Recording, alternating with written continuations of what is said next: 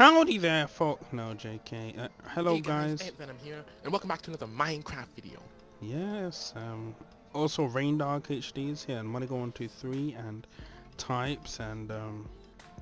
Sweetie Green. Almost forgot her name for a second. A real lady. Yeah. A little fake. and um, I'm here Oh, to show you how to win um Skylands. Alright, so you just get a few B hops in. You practice this by playing CS:GO for a few hours. And it's pretty it's pretty straightforward. But as you can see, you can only use three leaps, so you gotta save your leaps. Like not on this one. I'm gonna, gonna save my leap on this one. this guy's giving a tutorial.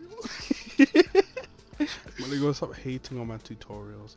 Like, you could get that jump right there, but you know you want to play it safe, so you're gonna go all the way around here.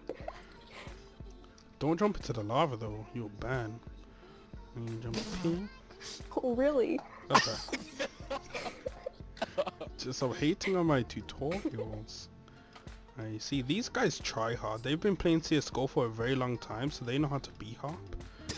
But after you get your B-hops like on fleek, no one can beat you. Like, look at that. I just beat Sweetie Green. I'm highly skilled in the B-hopping department.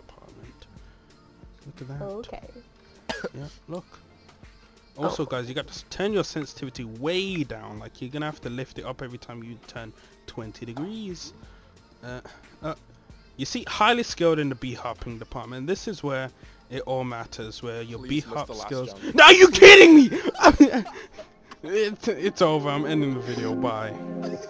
Run